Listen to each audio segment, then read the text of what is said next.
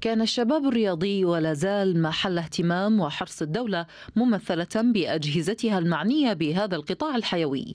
وشهدت الكويت خلال سنوات مضت نجاحات رياضية رائدة لا يزال الجميع يتغنى بها حتى يومنا هذا. غير أن القطاع الرياضي شهد تراجعا ملحوظا خلال السنوات الأخيرة في النتائج والإنجازات على صعيد اللعبات الجماعية وذات الحظوة الجماهيرية. بينما حققت الكويت على مستوى الرياضات الفردية إنجازات أولمبية ودولية وعربية مرموقة أعادت معها الأمل في نهضة رياضية شاملة.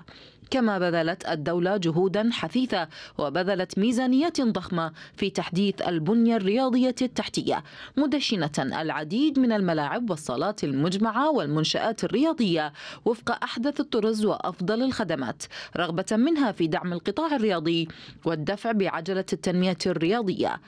واستمرارا لخطوات النهوض بالرياضة المحلية وإعادتها إلى ما كانت عليه من تميز وإنجاز. سعت الجهات الرسمية المعنية ممثلة بالهيئة العامة للرياضة لتوفير المزيد من الدعم المادي والفني للأندية المحلية الشاملة منها والمتخصصة. وحرصت على الاهتمام بتطوير المنتخبات المختلفة ومد يد العون إلى الأندية لتحقيق مشاريعها وخططها. غير أن استمرار سيطرة الهواية على الوسط الرياضي المحلي والاعتماد التام على الدعم المالي الحكومي يمثل عقبة أمام نهضة رياضية محلية حقيقية في زمن صار فيه الاحتراف والاستثمار منهاجا للتطور والنهوض وتحقيق الإنجازات. الأمر الذي يفرض على رياضتنا مواكبة دول المنطقة والعالم في الانتقال من ضيق الهواية إلى رحابة الاحتراف.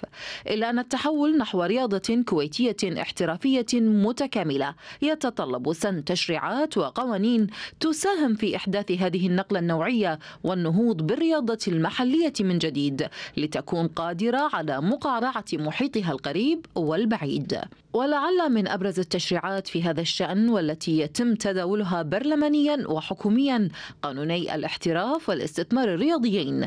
وكذلك قانون التفرغ الرياضي للاعبين الموظفين منهم والطلبة وهي مشاريع طموحة من شأنها منح الوفره المالية للأندية وتطوير العناصر الأساسية للرياضة والمتمثلة باللاعبين والأطقم الفنية المتخصصة إلى جانب المنشآت الرياضية المتكاملة وهي عناصر أساسية في أي محاولة لتصحيح المسار الرياضي والشبابي.